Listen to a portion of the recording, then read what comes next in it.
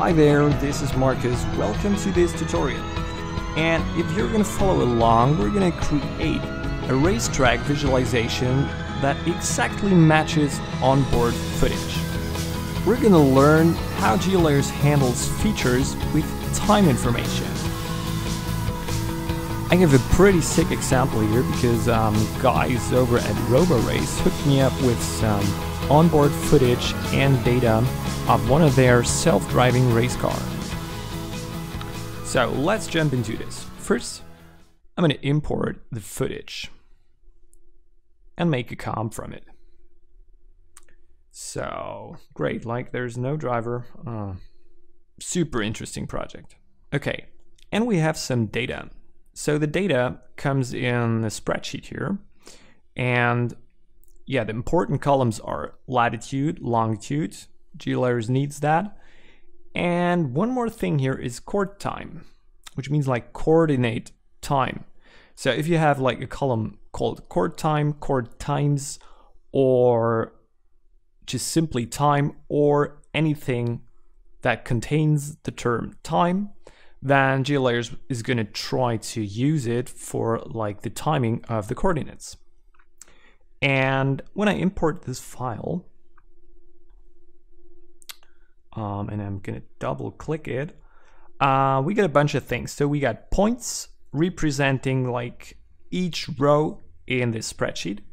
And we get a feature here, which is like all the points connected. And as I click the feature properties, you can see this checkbox, use coordinate times for animation. That means that GeoLayers actually has detected times for each coordinate. And you can now say, uh, no, I don't want to use them. Or yes, that would be actually pretty cool to use those exact times if I create an animation based on this feature. Okay, let's create a map comp. I'm going to click into the timeline panel that this is our active composition.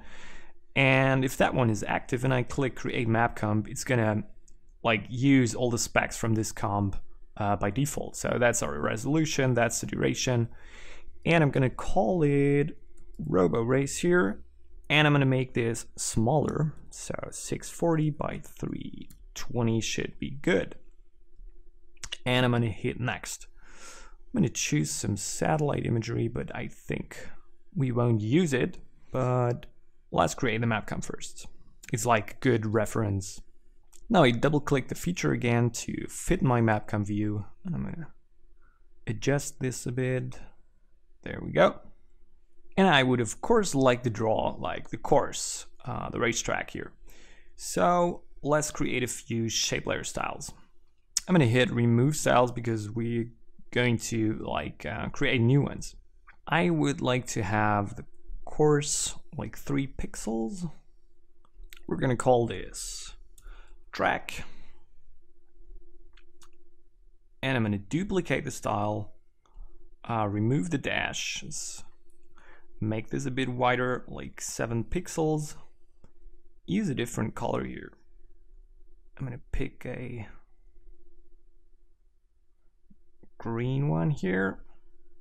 I'm going to call it car. Cool, let's hit apply. Now first, let's see which options are on here. Um, inside map comp, I don't want to draw inside my map comp, but in the containing comp. Um, and I don't want to do like auto stroke width because we're not gonna zoom in and out in this map, so I can switch that off. And by selecting the track style here, I'm gonna draw our feature. And you can see it here. We do have some overlapping here, uh, which I don't like. So let's fix that one. I'm going to duplicate this feature by holding Alt and dragging it just below here. And I'm going to open the feature properties here. And we're going to trim the feature here. So um, yeah, as you drag those sliders here, you can see that you can trim the feature and by zooming in, can make this point by point. And we're going to close the line here. So I'm going to call this feature trimmed and hit apply. So let's remove the shape layer here and draw this again. And it worked. We don't have any overlapping going on here and it looks way better. So now the cool thing comes up. I'm going to select the not trimmed feature here. I will switch off simplify geometry because we want to have our timing as exact as possible.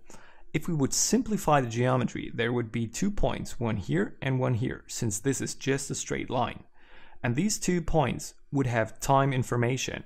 So there would just be a linear movement from here to there in this time. But we have some acceleration and like braking going on here. To really visualize this, we simply switch off simplified geometry. I'm going to use the car style here and with the feature selected, I click animate feature path.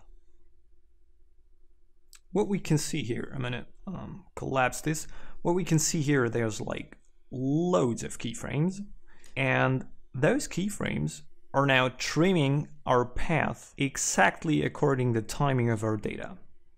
If our composition was not long enough, so the comp duration was not long enough than the real timing, then GeoLayers would use the default animation uh, duration, but the relative timing would be kept in place. That means that this is going to match our footage here. So I don't need my reference anymore, so I'm to switch off the imagery and of course also the labels so that we have this nice graphical visualization right here. And I'm to adapt the view a bit, maybe like this.